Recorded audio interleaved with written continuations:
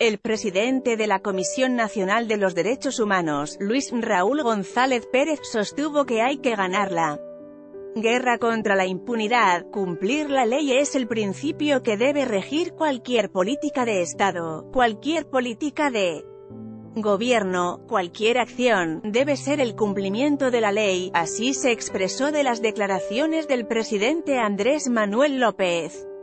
Obrador, de que ya se acabó el tiempo de guerra, indicando que la CNDH siempre estará por la compatibilidad entre el respeto a derechos humanos y la aplicación de la ley, nadie podemos estar en contra de la aplicación de la ley. Si las normas no son acordes a una realidad cambiemos las normas pero siempre dentro del marco convencional y constitucional. Ombudsman Luis Raúl González reprueba estrategia de seguridad de AMLO en entrevista. El Ombudsman Nacional dijo que la importancia de las declaraciones del presidente es que todos, todos cumplamos con las disposiciones normativas.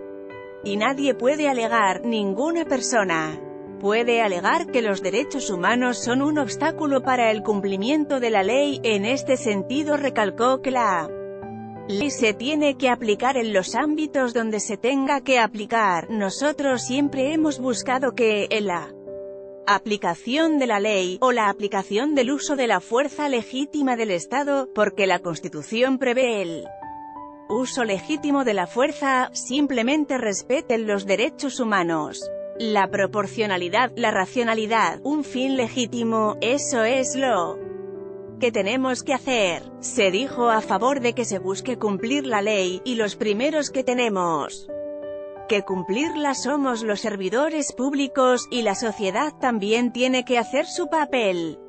Hay un principio básico del derecho, la autoridad solamente puede hacer aquello que la ley le permite. Y los y las ciudadanas pueden hacer todo aquello que no les es prohibido.